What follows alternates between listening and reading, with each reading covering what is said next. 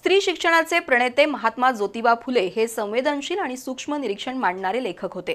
त्यातूनच त्यांनी मानव मुक्तीचा विचार मांडून मराठी साहित्याला वैचारिक दिशा दिली असं प्रतिपादन ज्येष्ठ विचारवंत डॉक्टर नंदकुमार मोरे यांनी केलं. महात्मा फुले यांच्या स्मृतिदिनानिमित्त आयोजित कोल्हापुरातील व्याख्यानात ते बोलत होते. महात्मा फुले यांच्या स्मृतिदिनानिमित्त मंगळवारी राजर्षी शाहू स्मारक भवनमध्ये प्राध्यापक डॉक्टर नंदकुमार मोरे यांचं व्याख्यान झालं. महात्मा फुले आणि त्यांचे साहित्यविषयक विचार या विषयावर मोरे यांनी पुष्प गुंफलं. महात्मा फुले हे संत ज्ञानेश्वर तुकाराम महाराज कबीर यांचे अभ्यासक होते. त्यातूनच एक संवेदनशील आणि सूक्ष्म निरीक्षण मांडणारे लेखक अशी त्यांची प्रतिमा निर्माण झाल्याचं डॉक्टर मोरे यांनी सांगितलं. मानवमुक्तीचा विचार आणि ध्यास घेऊन त्यांनी निर्माण केलेली साहित्यकृती मराठी साहित्याला वैचारिक दिशा देणारी ठरली. दलित आणि ग्रामीण साहित्याची प्रेरणासुद्धा फुले यांच्या साहित्यामधूनच आल्याचं डॉक्टर मोरे यांनी स्पष्ट केलं. फुले यांनी साहित्य क्षेत्रातील सर्व विषयांना स्पर्श केला.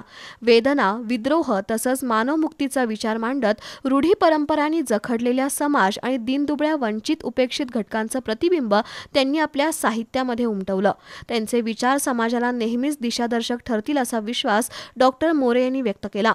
तर आधुनिक महाराष्ट्राच्या इतिहासातून सत्यशोधक समाज वगळला तर बाकी शून्य उरेल इतकं या समाजाचं महत्त्व असल्याचं अध्यक्षीय भाषणात डॉक्टर अशोक चौसाळकर यांनी सांगितलं.